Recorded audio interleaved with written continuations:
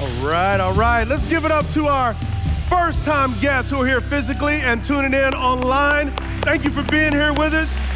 Let's give a huge welcome to the mighty men and beautiful women of all of our correctional facilities partnerships and to the TC family. It is so, so good to see everybody. We are kicking off a brand new series starting in 2024, which, by the way, that just sounds weird 2024. Um, if you're a teenager right now or a young adult, I remember when Prince wrote a song saying, We're gonna party like it's 1999. That's a long time ago. I can't even stay up for that party anymore. So, but our series is, is, is, entitled My Name Is. Now, I must admit, I, I, I am a fan of hip hop. I grew up when hip hop first developed. Hotel, motel, holiday inn. Okay, that's enough. We're about to get into sin. No sinning in the house of the Lord. Um, so my name is does remind me of Eminem when he's like, my name is. So I'm gonna do everything I can to not do that every time I say, my name is. But one of the beautiful things about God is he describes who he is by his name. So, growing up where I grew up at, predominantly African American community, Latino community, this isn't true for everybody. It's not, it's a generalization. But growing up where I grew up at, nobody goes by their government name. So, my government name is Derwin Lamont Gray. I didn't get called Derwin until I got drafted in 1993 by the Colts. That's when I became Derwin. Previous to that, everybody called me Dewey, because that was just my name. And so we had people in the hood named Squinky. We had people, I mean, just all, uh, I had a cousin named Ice, one named Chili Red. I mean, so their name describes their actions. You probably have that in your family too. Well, one of the things that God does is He describes what He does and what He wants to do in our life by His name.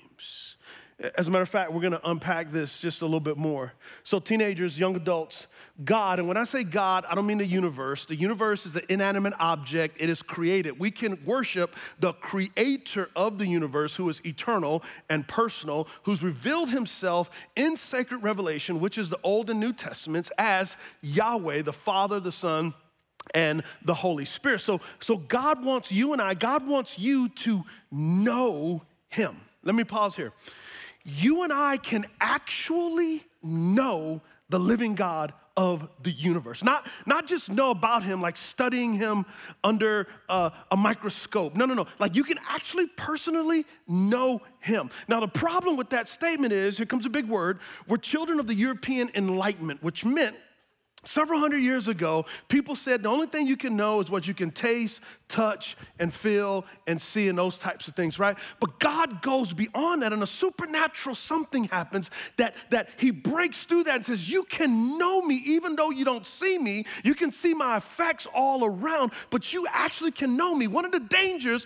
of living in the South, and not everybody's from the South, welcome to the South where the winters are nice. Let me keep going. I lived in Annapolis for five years. Great city, but it was cold, man. One of the dangers of living in the South is people talk about religion. You can talk about Jesus, but actually not know Jesus. Matter of fact, James 2:19 says, even the demons believe, but they don't know him.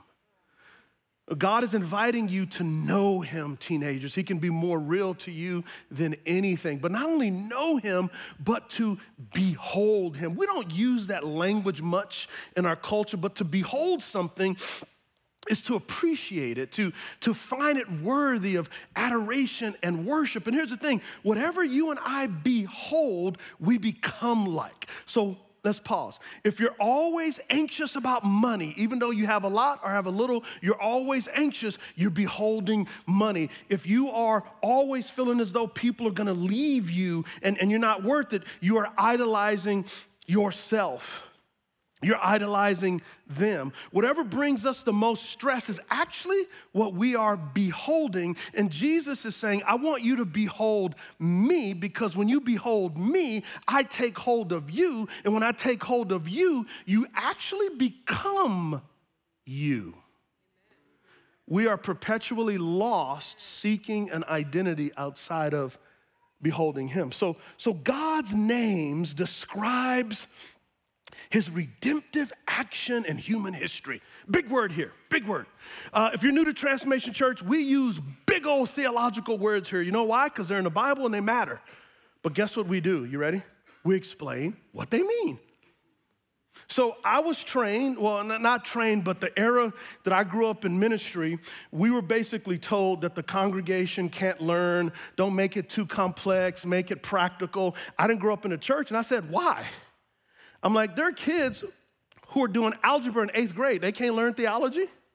There's kids that work at Chick fil A eh, when they're 16. They can't learn theology. They're in AP classes, but we're gonna dumb them down at church. That's our problem. We don't need to dumb them down. We need to call them up to the glory of God because the greater God's glory is, the more we wanna worship Him. Um, I don't know about you.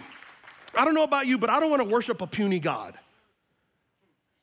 I wanna worship the God of Scripture who is beautiful and magnificent, and that requires us using big words but explaining the big meaning so they can have a big impact in us. So, God's redemptive history, that word redemption is a beautiful word that we can trace all the back to Exodus chapter 6, verse 6. Here's the deal God called a people to himself called the nation of Israel. And he said to them, basically, I want you to be my people. And I want you to show the world who are not my pe- people what it looks like to be with me. I'm gonna show you how to live. I'm gonna show you how to love. I'm gonna be with you, and your life is gonna be like an advertisement to me. The problem was there's a guy named Pharaoh in Egypt, this African cat, and he was like, Listen, all you Israelites, you guys would make some good workers for the things I wanna do. So he enslaved them. God raises up a stutterer by the name of Moses who's like, I can't do it. And God's like, I can, so let's go. By the way, every time you say, I can't, he goes, I know. That's why I'm going with you. So Moses goes, the 10 plagues against the nation of uh, uh, uh, Egypt was against the 10 false gods of the Egyptians. And the last one was taking the firstborn. Why? Because the Egyptians pharaohs thought that they were the sons of Ra, the sun god, so his son would be the son of God. And God was like, Nope, I'm really gonna bring the son of God through these people you're enslaving, and nothing's gonna stop me from saving people. Put your name there. God goes through drastic things to set us free. Eventually, God redeems them. That word redemption means a slave was shackled and a price was paid. Ultimately, it points to Jesus who frees us for what? To behold him so he can take hold of us. And what we're gonna look in this series is how God's names describe his redemptive purposes. This is a picture of me in Israel in 2017. It was my last class for my doctoral studies in the New Testament.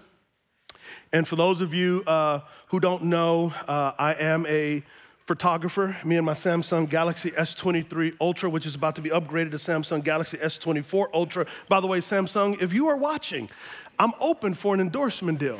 I'm just saying. I mean, I'm just saying, okay, let me get back to the message. So, anyway, I saw these uh, young people, uh, the girls probably about seven or eight, brothers about 10 or 12, and they were shepherding sheep. So I thought, man, this would be a great picture. Next thing I knew, I was with the sheep, and the sheep were all around me. Now, I don't know nothing about shepherding, but I got enough sense to know this. The sheep saw me as a shepherd who could protect them and guide them and provide for them. Well, there was a shepherd boy several thousand years ago. His name was David. He was the smallest son of a group of brothers who were very impressive. He was the weakling of a man named Jesse. He was a shepherd boy. What he did is he shoveled sheep droppings. Can I pause here? Uh, please don't despise the years of shoveling sheep droppings. We have a generation, I say this lovingly, hear my heart. Entitlement will think you need to be king before you can ever shovel sheep droppings. You learn how to be king in the stench of the sheep droppings. You learn how to be king when no one knows your name. Can I just testify for a moment? I will have high schoolers and college students, football players, hey, Derwin, what did it take to make it to the NFL? What did you do? And they want to hear about games I played. I take them back to when I was in ninth grade and I ran a 5.2540 and I was five foot seven, 132 pounds, and was not very good, but, but decided that I was gonna lift weights and I was gonna sacrifice and I was gonna run and I had hard coaching that I didn't think liked me. By the way, the most the coaches who love you the most work you the hardest because they see what's in you. And some of us are complaining about the greatness that God wants to bring out of us through somebody else. And so I tell them, and finally, about a half hour later, I say, and by the way, my first year in the NFL was miserable, and they don't want to play in the NFL anymore. People want to show up when the lights are on, but they don't want to work when no one's watching. Well, God's grace works that way too. David was a shepherd boy, and so he could write about Psalm 23. And we learn about Yahweh Raah. I want you to inhale Yahweh. Yah. Inhale Yah, exhale way. The first breath you take is God's name. Did y'all catch that? Soon as you leave your mother's womb, soon as I left my mother's womb, the first breath, Yahweh. We're born praising his name and don't even know it. Yahweh Raah literally means the Lord is my shepherd. As your shepherd, Yahweh Raah graciously provides you with his presence graciously provides you with his presence. The Lord is my shepherd. And let's point here graciously. Um, young adults and those of you who don't follow Christ, and those of us who may have followed Christ for a long time, don't underestimate grace. Learn what grace is. Grace does not mean the shepherd owes us his presence. Grace does not mean we've earned it. Grace means out of the loving shepherd's heart, he goes, I'm gonna be with my sheep. And if you know anything about good shepherds, on cold nights, they're with their sheep. When they're walking to water and it's dry and it's hot, they're with their sheep. When the wolves tack, they are with their sheep. The sheep don't earn it, it's a gracious gift. Never underappreciate the presence and the grace of God. King David, as he writes Psalm 23, you know that sheep are always under attack. I'm not sure if you know this, but sheep are not the smartest animals that God ever created. They're under attack from like wolves and all other types of things, and it's important they know where green grass is, and it's important they know where water is. Um, Israel is a very dry place, so that's very, very important. By the way, by the way, um, what would happen if there were like 300 sheep and a wolf comes, hur, hur, hur, and instead of the sheep being scattered, they go, hmm, there's 300 of us and eight of them. Why don't we all just run at them? They don't. What you and I do as Christians, we go, man, I'm struggling with depression, I'm struggling with pornography, I'm struggling with my marriage, but I'm not gonna get help. I'm gonna do it myself. And the devil goes, okay, great, because I'm roaring and looking for you to be helpless and alone. Let me say something to you, men and women. Doing it alone is not a sign of strength, it's a sign of pride. Let me say it again. You keeping it from your wife, what's going on at work, and you're about to get fired, is not a sign of strength. It's a sign of ignorance and pride and dumbness. It is. That's not strong. You know what strong is? Help. Help me is strong. One of the things that I learned in my football career and what I've learned in pastoring is you ask for help. That's how you grow. Can I give you and me some knowledge? We know we're messed up. It's not a surprise when you ask for help. You're a human being. We are too confident in ourselves. When we're too confident in ourselves, we don't ask for help. And what happens? It's a whole group of sheep, and we spread out. And what does the wolves do? Go find the little ones and the hurt ones and the old ones. And we just watch and like, ooh. But what if we all turn together towards the wolf with the shepherd leading us. A couple years ago, uh, Vicki and I were going through an incredibly difficult uh, leadership crisis um, here at Transformation Church. It was gut wrenching. It was the hardest thing that we have ever gone through. It was difficult, difficult. Now, Vicki and I have different personalities. Vicki is like, let's pull out the swords, cut off heads, mount them on spears. and she balances me because I'm like, but babe, I just know if we, if we have one more conversation, they'll get it and, and we'll tell them about grace and, and God's good. They will get it. She's like, Pat, she's like, Derwin, you've had 15, one more conversations. It's enabling at this point. People don't respect you more when you don't have boundaries. They run over the boundaries more. And man, we were driving back from somewhere. I can't remember where we're coming from exactly my phone rang, and it was my mentor, Alan Bacon, on the other end. And he said, Son, are you okay? The Holy Spirit put me on your heart. Are you okay? And man, I just start crying like a big old 260 pound baby. But here's the thing his voice reminded me of God's presence, which gave me assurance. His voice reminded me of God's presence, which gave me peace in the middle of the storm. His voice reminded me of God's presence that let me know that I had all that I needed to navigate this through Christ. You see, that's what Yahweh Raah does is he hears his sheep's cries and he does what a good shepherd does. He protects, he provides, he leads, he guides. Even when we think he's late to show up. Some of you go, well, well, where is he? Question, are you smarter than God? I'm not. Like he told Job, where were you when I created the sun? What if, what if oftentimes we think that God is delaying when actually what he's doing is making us stronger? You know the process that a caterpillar goes through to become a butterfly? Caterpillars were like, ew, icky. And a butterfly were like, ooh, beautiful. Well, that beautiful butterfly used to be an ugly caterpillar. What happens? It goes through a process called chrysalis where it goes into a cocoon and metamorphosis takes place where we get the word metamorphi or transformation. A transformation takes place in that cocoon, and then a point comes where you can see the butterfly stretching and trying to get out of that uh, uh, cocoon. But here's the, here's the thing though if you slit it open and help the butterfly, the wings will come out deformed and too small and it won't be able to fly. Some of us are going, God, get me out of this. And He's like, Your wings aren't strong enough yet. I want you to be beautiful and I want you to fly. Now, I don't like that. But I love the results of that. Check this out. The Lord is my shepherd. I have all that I need. But not only do you have all that you need from wolves, you have all that you need to live an incredibly godly life.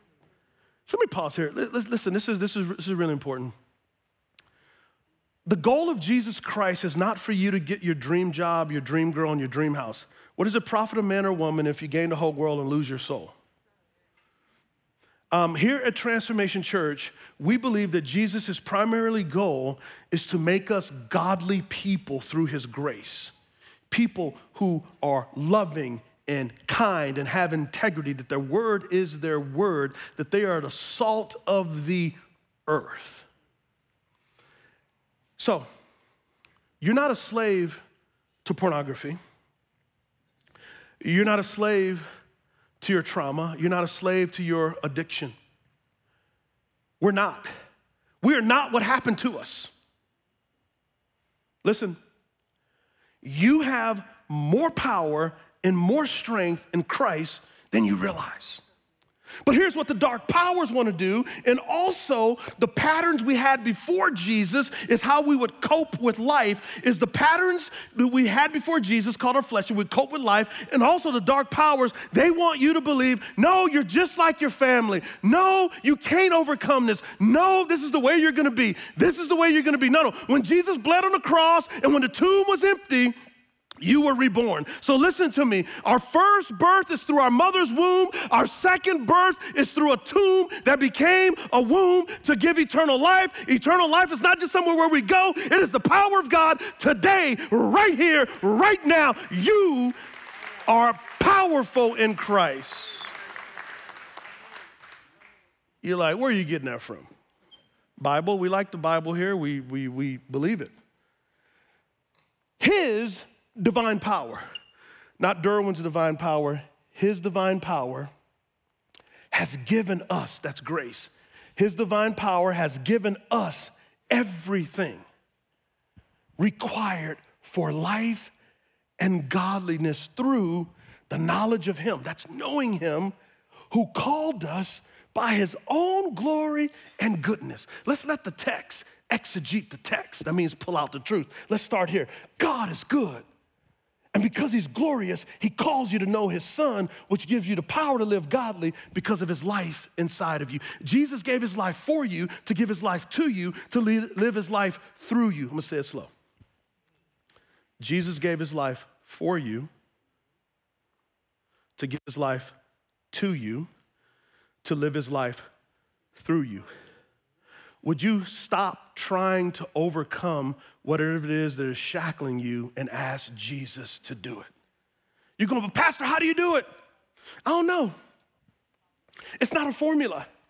The problem with being Western people is we want formulas and patterns, and God's going, hold my hand. Hold my hand. Trust me. Um, here's the formula you need an ugly face cry. Lord Jesus, I can't do this if you don't.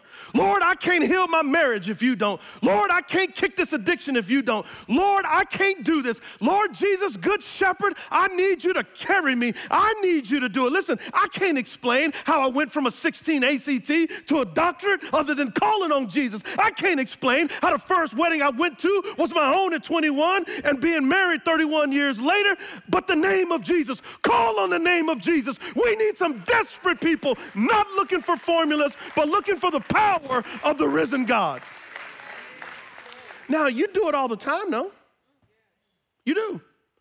In a few hours, you're gonna watch your beloved Carolina Panthers. You're gonna do all kind of superstition, turn your hat on backwards, put on jerseys. You're gonna do all this magical incantations. You're gonna get mad at the TV, get mad at your wife, you ain't even playing, which I don't understand. Why are you getting mad at your wife and you ain't even in the game?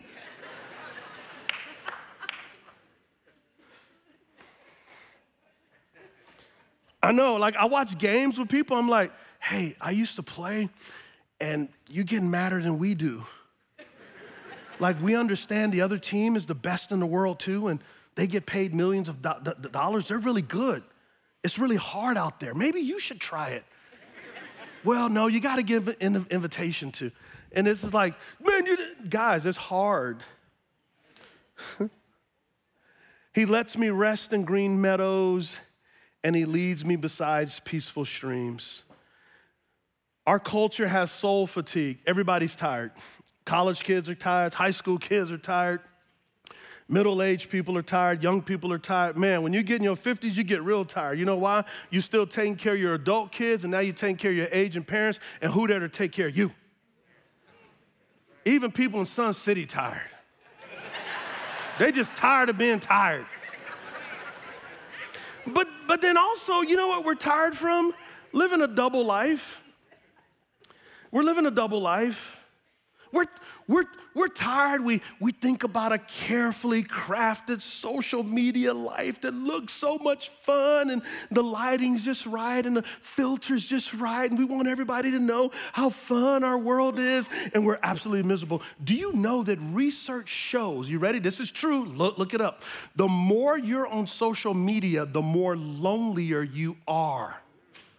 Those are not real relationships. Research shows that depression in 2012 was here. Out of iPhone in 2010, it's gone. The COVID pandemic exposed what was already happening.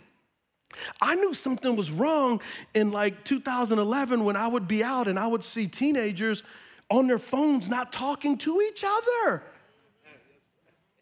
We are killing ourselves. Please understand this, and I use social media, I'm not saying this wrong. Please understand this. They want you to use their product. You are the product. They make money off of you. It's not free, it's taxing your soul. You know how many books you can read and how many things productive you can read instead of scrolling, looking at the same stuff? Why y'all worried about Katt Williams? You need to be worried about Jesus. I mean, no, no, no, no, seriously, why? Guys, seriously. Like, when has gossip been a thing for Christians? When another person doesn't get to share their side, that's gossip you're participating in. It's gossip. And Jesus, Paul, put gossip on the level of sexual immorality. And we think it's funny, entertaining.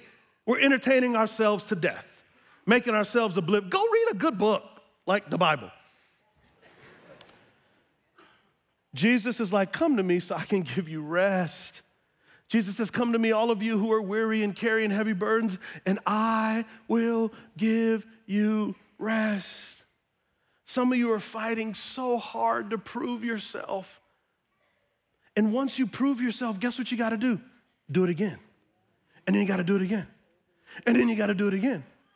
When does it ever become enough? It doesn't. And you live your whole life tired of trying to prove yourself. The cross is the ending of trying to prove yourself. It's where you can come and rest. Rest does not mean you cease from activity.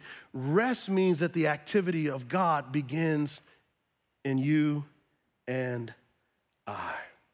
Number two, young adults, teenagers, preteens, Yahweh Raah strengthens and guides you through the darkest valleys of life. It's important for you and I to understand that as the shepherd is leading us, there are going to be valleys of darkness, there's going to be seasons of dryness, there are going to be wolf attacks, there's going to be difficulty. Okay? But God strengthens us. Notice the verse here He renews my strength. The Lord Jesus, the Holy Spirit's power, is our strength. And what does He do? He guides me doing uh, guides me along the right paths bringing honor to his name so what king david is doing is he's using a metaphor of sheep. In the Bible, the straight path is a path of godliness, meaning that through God's power, we're following Him. Uh, we move from selfishness to selflessness. We move from pride to ego. We move from sexual immorality to morality. We move from greed to generosity. God is forming us along the right path. So, what happens to a sheep if it's like, I'm gonna go off the path into the woods and there's a wolf there? It devours. By the way, some of you are playing with some serious fire right now. You got your little burner phone. You're talking to him or her at the office, beyond professional.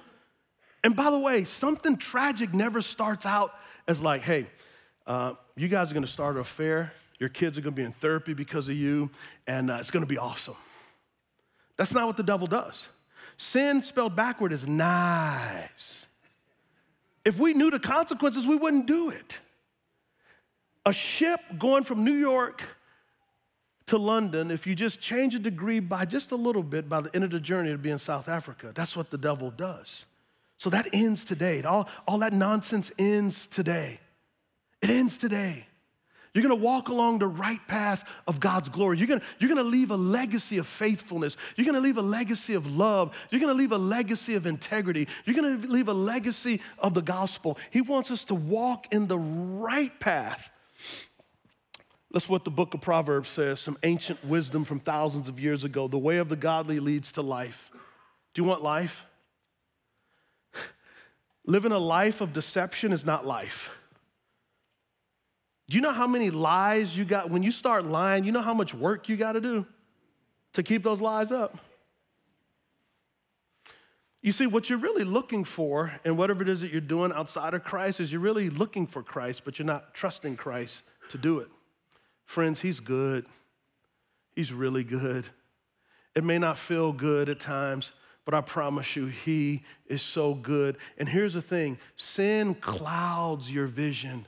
Walking in the way of God's grace opens your eyes to see clearly. For some of you, listen, hear, hear my heart. For some of you, your spouse is more handsome and more beautiful than you realize, but pornography has clouded your eyes. Follow him. He's gracious and he's good and he's kind and he is worth it. The other path leads to death. That's not just physical death, that's spiritual death. And we want to choose life. It got quiet up in here. Next, Psalm 23 4. Even when I walk through the darkest valley, I will not be afraid. Guess what, guys? We're gonna be afraid. So I will not be afraid means, God, I'm gonna trust you. And here's why we're not, not afraid for you are close beside me. Your rod and your staff protect and comfort me. In life, there's gonna be some difficult things. Listen to me, young people, listen to me. There's gonna be some things that are gonna blow your everlasting mind, that are gonna be incredibly difficult that you don't prepare for. Your mama not gonna be able to save you, your grandma not, your granddad, no one's gonna be able to save your bank account, nobody. 2004, my wife was diagnosed with papillary thyroid, uh, papillary carcinoma, thyroid cancer. Yes, we had insurance and that helped, but at the end of the day, there was no one who could help help but Jesus. There were terrible worship songs I sang, there were terrible snotty nosed cries I cried. You're gonna come to a place that all you got is Jesus, and you will discover He is all you need. Now, listen, it don't make no sense until you're there. Now, a question that we get in our culture is this if God is all loving, if God is all powerful, if God is all knowing, why is there evil and suffering? Why do we put God on trial instead of putting ourselves on trial? Amen. I think the question should be this Why would a God who is all loving, all powerful, all knowing come to earth in the person of Jesus Christ? Amongst sin, death, and ugliness that he didn't cause, die on a cross for us, raise again from the dead to kill death, and then by grace invite us into his family? I think that's the better question is how can God be so gracious. Last I checked, it wasn't God who created adultery. It wasn't God who created sex trafficking. It wasn't God who created uh, corrupt political figures. It wasn't God who created all those things. It was us. Yet God says, I'm still going to come and love you. The Bible says, but while we were yet sinners, Christ died for us. I think that's the better question. So when someone asks you that question, feel free to use that illustration because you'll probably get it this week. Check this out. I want you to marinate with me in Romans chapter 8, 31 through 39. If there's one chapter in the Bible you need to know, it's Romans 8. Here's what the shepherd does for us what shall we say about such wonderful things as these? If God is for us, who can ever be against us? Since he did not spare his own son, but gave him up for us all, won't he also give us everything else? And let me pause here. I'm gonna teach you what's called hermeneutics, interpretation of scripture, exegesis, pull out what's in the scripture. Verse 33 through 39 tells us what the everything is. Do not hijack the scripture and make it be like, oh, he gonna give me that Mercedes Benz. That's not what it's saying. Verses 33 through 39 is gonna tell us what everything is. But let me pause here before we get to, to that. When all hell breaks loose and we're in a dark valley, and maybe the shepherd is ahead of us and we can't see him, how do we know he's still with us? The cross is still bloody, teenagers, and the tomb is still empty. And because the cross is bloody and the tomb is still empty, we can trust Him that He is for us. We can trust Him in the middle of it. So, what is this everything he gives us? Here it goes, verse 33. Paul, right here, goes ballistic in the gospel. Who dare accuses us whom God has chosen for his own? No one, for God himself has given us right standing with himself. Who then will condemn us? No one, for Christ Jesus died for us and was raised to life for us. And he is sitting at the place of honor at God's right hand, pleading for us, praying for us. Can anything separate us from Christ's love? Does it mean he no longer loves us if we have trouble or calamity or persecuted or hungry or destitute or in danger or threatened with death. As the scriptures say, for your sake we are being killed every day, we're being slaughtered like sheep. Time out. The Apostle Paul is a Jewish scholar. Yes, he's taking that to Psalm 23. No. Here's everything, y'all. Despite all these things, on the count of three, say all these things. One, two, three. No, despite all these things, overwhelmingly victory is ours through Christ Jesus who loved us. Let me have a fit right now. Let me tell you what you've been through, what I've been through, even the pain we've caused, whatever hell is going on around us. You are not a victim. You are not enabled. You are not powerless. And the one who raised from the dead, he lives in you. He's calling you to call him. I'm here to tell you today God wants to do something in you. Listen, I'm gonna use a big word zeitgeist. If you're German, you know what it means. It means the spirit of the age. The spirit of the age in today's culture is everybody's a victim. Oh, we blame everybody for everything. My mom did this, my dad did this. Well, what you do? What you do? What did you do? It's funny how we always tell what everybody did to us, but we don't tell what we did.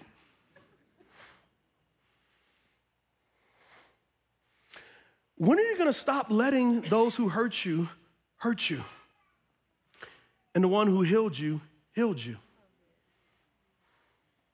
Friends, I've been through things that I cannot describe from this pulpit because there's too many young pe- people in here, and so have you. But I refuse, by God's grace, to give power to anything other than King Jesus.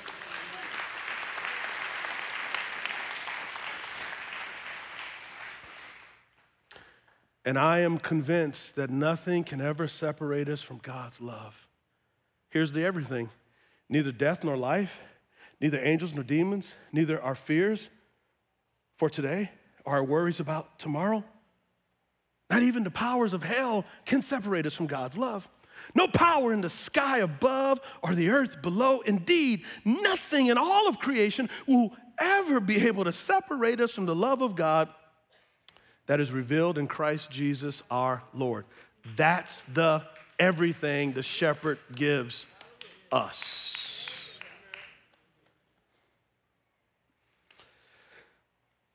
As your shepherd, Yahweh Raah is your host and pursues you with goodness and unfailing love.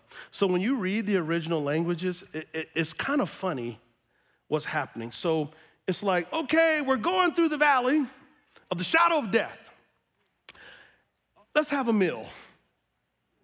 Yeah, it's pretty, it, it's, it's interesting. Check this out. You prepare a feast for me in the presence of my enemies. What? David, what are you writing? So you're going through the valley, and all of a sudden the shepherd says, Time out, time to eat. As the sheep were like, um, Do you see the wolves? Like, yep, I ain't worried about them. I got power over them. Have a meal, sit down. You prepare a feast for me in the presence of my enemies. Listen, the enemies don't go away, but you have a feast in the midst of it. Now let's pause here. This is really important. The enemy is not people. For those of you who know your Bible, if you don't, it's a great place to learn it. Ephesians chapter 6, verses 11 and 12 says, our enemy is not against flesh and blood, but against principalities and dark powers. People are not your enemy. They're not my enemy, even though they may act like they are. You can choose whether if you enter into their circle of hate or remain in God's love. Now, listen, Jesus said something really powerful Matthew chapter 5, verses 44 and 45, been in the Bible 2,000 years, hasn't been edited, hadn't been changed. It's the same today, yesterday, tomorrow, and forever. And it says this Bless those who persecute you and love your enemies. That is not a suggestion, that is a commandment. I don't know about you, but that's the kind of big boy, big girl Christianity I want to be a part of. Some of you are waiting just to be offended. Your soul is just fragile. Will you let Jesus be your defender? We just sang a song about it. Well, they called me a name. When does a name have power over Jesus' name? Another thing, really quickly here. Can we retire the phrase, my haters? Can, I mean, it's played out. Can we please retire that? My Caucasian brothers and sisters over 50 are like, now, what is this you speak of? So in our culture, it's like, man, I got haters, and these people didn't believe in me, and my haters are my fuel. Think, of, think about how silly that is. You're saying your haters helped you achieve. They still get glory, they win. You're still thinking about them. They win. They've written space in your mind for free. And also, it's idolatry and it's sin, and you're using the wrong motivation to be successful. The glory of God should be our motivation. So, can we retire that, please? Can we be done with that? And we ain't standing on business, we standing in God's grace. Can we stand in God's grace, please? The only business I got is the kingdom of God, the grace of God, the love of God. Boy, I wish I had more time. Let me keep reading. Yeah, some of y'all, take your time. Nope, I'm getting hungry. you honor me by anointing my head with oil. That means the Holy Spirit's power. My cup overflows with blessings. So think about it. We're in the valley, we're having a meal. God is going, and by the way, by the way, I'm gonna anoint you with the Spirit and you're gonna overflow with blessings. Some of y'all like, praise God. What if the blessing is more patience? What if the blessing is more generous? Or what if the blessing is less pride, more selflessness? The blessing may be a better job, but that better job will become a curse if you don't use it to bless the Lord.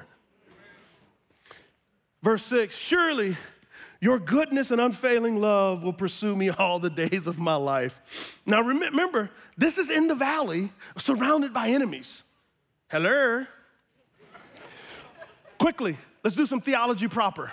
Goodness is not what God does. Goodness is what God is. So whatever God does, it's good because he knows the end from the beginning and his character is good. This word unfailing love is a Hebrew word called hesed. It is God's covenantal love equivalent to the Greek word agape. And what it means is basically this. God is saying, I'm going to love you, I'm going to forgive you, I'm going to provide for you, I'm going to strengthen you, I'm going to see you home all the way. I am for you. All you need to do is trust me. His unfailing love will pursue me all the days of my life, and I will live in the house of the Lord forever. King David, when he wrote, wrote, wrote, this, he wanted to make a temple for God. So, right now, this is the tabernacle where God's presence was. The Lord said, Build me a temple, but David decided to have an affair and messed it up. So, his son Solomon actually built the temple. But the point is, he wanted to be with him. The point for us is this for 2,000 years, the first day of the week, which is Sunday, God's people have gathered. Did you know in today's America, Christians attend one service a month? In 2024, make us go to three services before we launch our campus. Start your week off in the house of God. Now, I'm gonna challenge some of y'all. Some of you, as soon as travel basketball come, you gone. Most likely your kid is not gonna be the next LeBron James. You traveling all over the country. Listen, I get it. I had a daughter who was an All American cheerleader. I had a son who was one of the top football recruits in the country. When he was at 10 years old, their travel teams like, well, you need to bring him. No, no, he coming to church. Well, he gonna fall behind. Well, that's all right, but not in church, he ain't. And then they get in their tw- tw- 20s like, son, why don't you go to church? Well, dad, you've taught me for all these years that there's other priorities. No, the house of God and the instruction of God and the fellowship of the believers is the priority. That's what sets the dominoes for the rest of the week. Online is important. Online is important. We reach thousands of people, but we are called to be together. Don't make God's house, well, what, uh, this ain't a New Year's resolution thing, y'all. This is a consistent way of being. And I hope your son is the next LeBron James. He'll be able to give some great financial generosity. Lastly, Jesus is Yahweh Raah, the great shepherd who sacrificially loves his sheep. In John 10, look how Jesus applies Psalm 23 to himself. The thief's purpose is to steal and kill and destroy. My purpose is to give them a rich and satisfying life. I am the good shepherd. Let me teach this for a minute. This is the Greek word ego eimi, and it means I am, which is equivalent to the Hebrew word Yahweh. So whenever you see in the Bible, I am, Jesus is stating that he is Yahweh of the Old Testament. We believe that Yahweh is the Father, the Son, and the Spirit. Jesus, the second person in humanity, is saying, I am him. Isn't it sad that the religious leaders studied, studied about Yahweh their whole lives and he was like, whoop, here I am, and they crucified him? May that never be us. I am the good shepherd. The good shepherd sacrifices his life for his sheep. That's the cross. My sheep listen to my voice. You hear that? My sheep listen to my voice. Hey, moms, you know this to be true. You could be at the mall, you could be at Carowinds, kids everywhere. But if your kid raises their voice, you know your kid's voice. Do you know his voice? Not just know about it, but do you know his voice? I know them and they will follow me. I give them eternal life and they will never perish. No one can snatch them out of my hand. No one can snatch them from me. This is what I'm gonna do, family. I'm gonna, I'm gonna, I'm gonna pray, but I'm praying specifically for those of you who don't know his voice. And today's the day to learn his voice. Let's pray. Ah.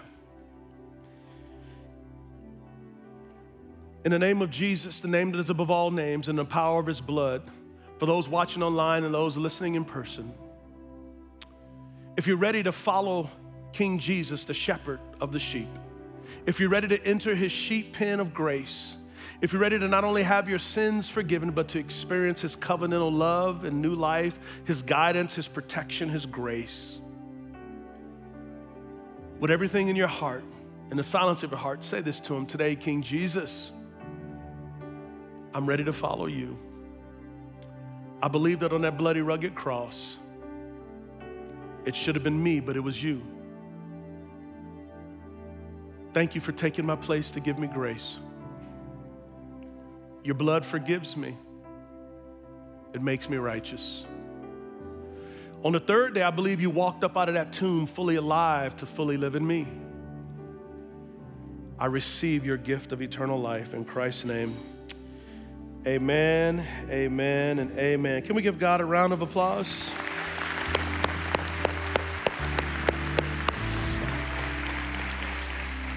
In a moment, our worship team is going to come and lead us in a worship song on Psalm 23. But before they do, if you prayed with me, I want you to fill out on the connection card, I pray to receive Christ. If you're watching online, there's a QR code that's gonna come up.